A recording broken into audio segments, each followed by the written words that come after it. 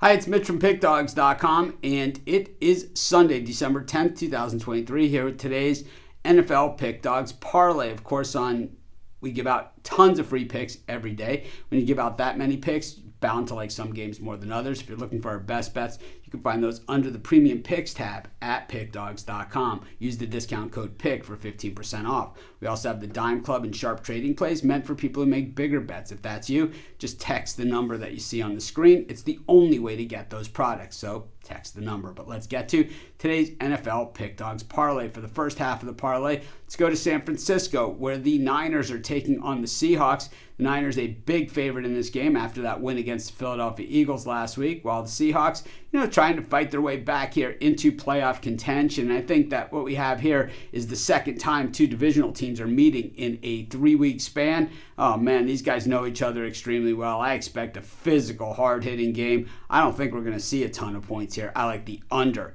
in the Niners Seahawks. Pick one of our NFL Pick Dawgz parlay. Pick two of our NFL Pick Dawgz parlay. We got the Chiefs taking on the Bills. Not quite the same luster surrounding this game as we've seen in years past. Generally, these have been the best two teams in the AFC when they're facing off, but neither of these teams have the best record in the AFC. In fact, Neither of these teams even have the second best record in the AFC. And when it comes to the Buffalo Bills, well, they're not even in first place in their division. But the thing is, is that it's always fun when the Chiefs play the Bills. And what it is is is Josh Allen and Patrick Mahomes seem to bring out the very best in one another. Will they still continue to do that in this year, where Patrick Mahomes' receivers can't seem to catch his passes and Josh Allen seems to throw the ball to the wrong guy?